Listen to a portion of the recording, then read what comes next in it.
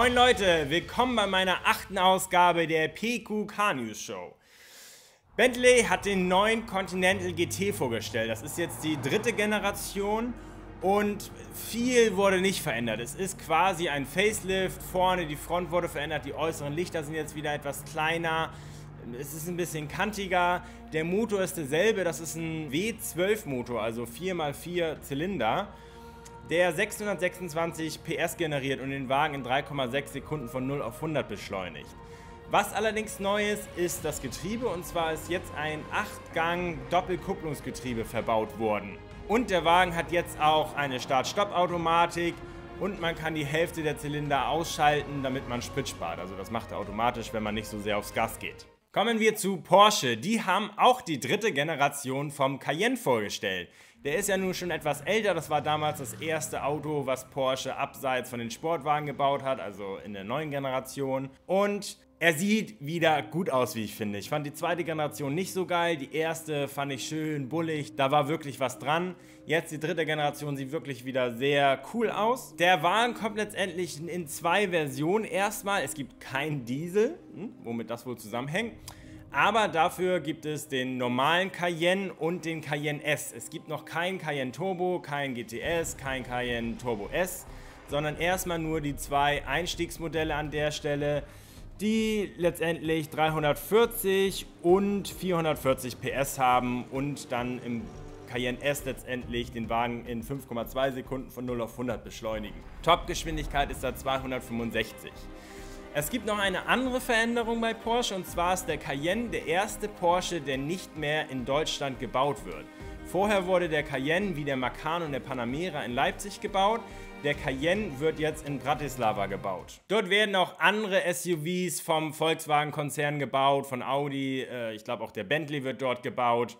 Also die kommen da alle zusammen, weil die auch letztendlich alle auf derselben Plattform basieren. Dann eine ganz knappe News, wo ich euch auch nur das Video zeige. Mercedes hat von der S-Klasse das Cabrio vorgestellt. Ist ein richtig großes Schiff, aber mit Cabrio ist das sicherlich auch sehr entspannt damit durch die Gegend zu fahren. Und es sieht, finde ich, cool aus, wie das aufgeht. Und so viel ist diese Woche auch gar nicht mehr passiert, bis auf in der Elektrowelt. Da wurde einiges vorgestellt und zwar hat BMW den i3S vorgestellt, der jetzt nochmal mit mehr Leistung daherkommt. Es gab jetzt keine äußeren optischen Veränderungen, aber der i3S hat nochmal mehr Power und beschleunigt von 0 auf 100 in 6,9 Sekunden. Das ist 0,4 schneller als der Vor- bzw. das normale Modell. Also jetzt wirklich keine große Veränderung, aber BMW arbeitet an den i-Modellen. Der Roadster von dem i8 wurde auch gerade vorgestellt. Dann noch was Neues an der Elektromotoren-Autofront. Mini hat, also gehört ja auch zu BMW, die sind da momentan sehr hoch im Kurs mit den Elektromotoren. Die haben ein E-Konzept vorgestellt. Der sieht relativ schick aus. Er erinnert immer noch an den Benziner, aber hat trotzdem noch so besondere Züge, wo man letztendlich sagen kann, okay, das ist ein E-Wagen.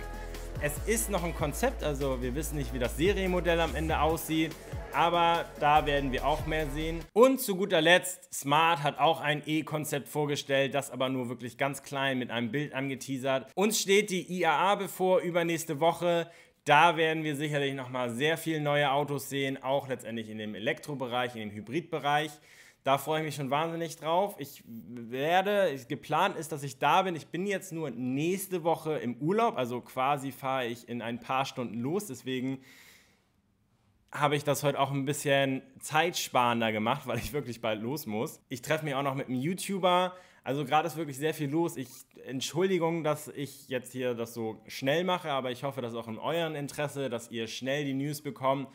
Ich werde auch wieder das große Studio rausholen, aber gerade habe ich einfach echt wenig Zeit. Es ist anstrengend, ein YouTuber zu sein irgendwo. Ich habe noch sehr viel zu schneiden, da kommen noch sehr viele Tests. Genau, nächste Woche bin ich im Urlaub, da werdet ihr wahrscheinlich nicht so viel von mir sehen, aber ich werde tolle Aufnahmen machen. Ich bin wieder mit Autos unterwegs. Ich kriege einen R8 V10 Plus Spider für eine ganze Woche und fahre damit durch die Alpen bis runter Monaco. Das wird sehr spannend. Äh, guckt mal bei Instagram rein, da werde ich Stories posten, vielleicht auch mal ein Live-Video auf Facebook oder YouTube. Ich bin sehr aufgeregt, das wird super. So, damit verabschiede ich mich auch für diese Woche. Ich hoffe, es hat euch gefallen. Wenn es so war, lasst ein Like da. Ich freue mich auf nächste Woche. Dann werde ich irgendwie versuchen, aus den Alpen euch irgendwas zu schicken. Wir werden sehen. Bis dann. Schöne Woche, schönes Wochenende. Ciao.